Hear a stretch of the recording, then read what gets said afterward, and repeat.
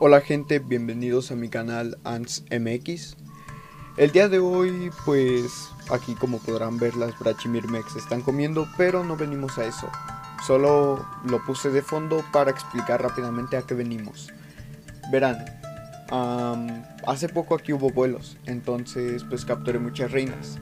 Y a día de hoy, pues las chequé hace poco y así es, hubo una explosión y cada una de las reinas cuenta con muchísimas obreras, pero muchísimas. Entonces quise pues las vi y no me, no me aguanté las ganas y grabé. Pero no solo es eso, sino que logré grabar como una de, de la Sata pone un huevo. O sea, cómo lo pone y lo coloca. Ah, realmente es increíble. Creo que ya mejor pasemos a ver a la Ata porque sinceramente es algo que ni yo me creo. Bueno, pasemos a ella. Bueno, realmente no. Primero pasemos a las Feidole, que supongo que es más importante. O sea, vean la cantidad de huevos que hay ahí. Es increíble. O sea, y no de huevos, de obreras. Y eso es solo una jeringuita. Luego pasamos a las siguientes y hay más. No se les hace, no sé, como cute ver a tanta Feidole con muchas obreras. En esta no se ve tan bien, pero Intenté poner como un tipo filtro que hiciera que se vea y pues se logra apreciar muy levemente el movimiento. Y ahí pues otra jeringa con más obreras. Y así, realmente son muchas las que tenemos. Ah, y tengo una Camponotus, pero no quería decirlo aún porque pues a cada rato se comen los huevos, pero pues ya, ya que estamos, ¿por qué no? Tengo una Camponotus.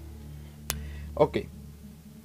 Ahora sí pasemos a ver a la ATA. Ya les, les estaré informando sobre esto. Y pues bueno, ahora sí vamos a ver a Lata.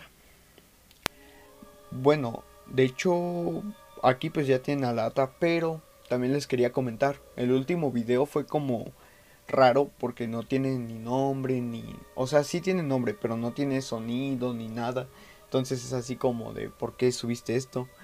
Ah, pues yo quiero hacer como una miniserie explicando pues un poco de historia y no sé, explicarlo en hormigas creo que va a ser, va a ser gracioso. Y bueno, los dejo porque es, aquí es donde ella pone su huevo. Miren eso. Se agacha levemente, como que se checa el gaster. Y vean, vean, vean. Es que es increíble. Es una locura. Vean eso. Lo, lo está sacando, lo agarra y lo va a colocar.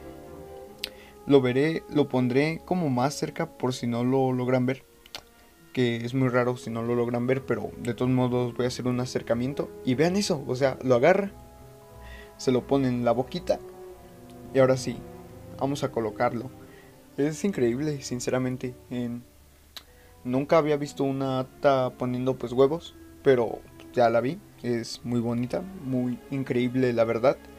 Y se preguntarán ustedes, ¿qué es mejor que una ata? Y mi respuesta sería, ¿qué es mejor que una ata?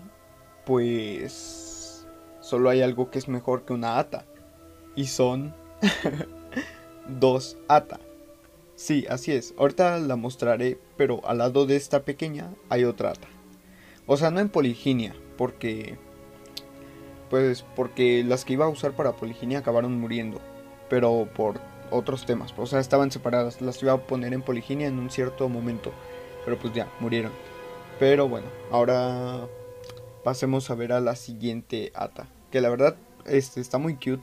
Bueno, casi no se ve de hecho porque la zona donde la tengo está como rayada, es como otro otro recipiente de cristal. Y bueno, ya para finalizar, pues les dejaré estas tomas de Ata, pues así se podría decir que haciendo su día normal.